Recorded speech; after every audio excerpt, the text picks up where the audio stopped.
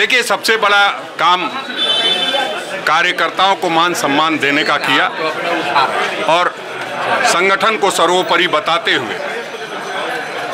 संगठन में कार्यकर्ताओं की भागीदारी सुनिश्चित की, सरकार लाने में, सरकार बनाने में हमने जो काम किया था उस नाते जो सरकार काम कर रही है, उसको ज़मीन तक पहुँचाने के लिए सबसे बड़ा काम अगर कोई हुआ तो बीस सूत्री में कार्यकर्ताओं की नियुक्ति हुई, जिसके माध्यम से हम लाखों, लाख लोगों के समस्याओं का निदान कर पा रहे हैं। यही सबसे बड़ी उपलब्धि मानी जाएगी कि पंचायत तक के जो कार्यकर्ता थे, उनको भी सरकार ने सम्मान दिया।